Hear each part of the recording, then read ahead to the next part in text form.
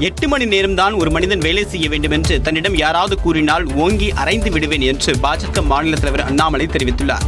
பாஜக தகவல் தொழில்நுட்ப அணியின் நிர்வாகி ஒருவர் மதுரை மாடக்குளம் பகுதியில் தொடங்கியுள்ள ஐடி நிறுவனத்தை அண்ணாமலை திறந்து வைத்தார். நிகழ்ச்சியில் பேசியவர் செய்ய முடியாதை செய்து காட்டுவதுதான் தன்னுடைய இலக்கு என்று கூறினார். வளர்ந்த நாடுகளை விட 25 ஆண்டுகள் இந்தியா பின்தங்கியிருப்பதாக குறிப்பிட்ட அண்ணாமலை இந்தியா முன்னேறுவதற்கு எட்டு மணி நேர வேலை போதாது என்றும் கூறியுள்ளார். எங்கிட்ட யாராச்சும் வந்து ஒரு மனுஷன் வந்து வாழ்க்கையில் எட்டு மணி நேரம் தான் வேலை செய்யணும்னு சொன்னா ஓகே அப்படி வெளியெடுக்கு இப்போ நான் புது ஸ்டைல பார்க்குறேன். ஐயோ எட்டு மணி நேரத்துக்கு வேலை செஞ்சா உங்களுக்கு ஸ்ட்ரெயின் ஆகி போயிடும் எட்டு மணி நேரத்துக்கு மேலே நம்ம யாரும் படிக்கக்கூடாது நம்ம ரெஸ்ட் எடுக்கணும். இந்த வயசுக்கு என்னங்க ரெஸ்ட் வளர்ற வயசுக்கு என்ன ரெஸ்ட் முப்பத்தஞ்சு நாற்பது வயசு வயசு வரைக்கும் உங்க பாடி பதினெட்டு மணி நேரம் வேலையில சாதாரணமாக ஓடிட்டே இருக்கு. பாடி எந்த பிரச்சனையும் ஆகாது. உங்க பாடி டியூன் ஆகிட்டே இருக்கு.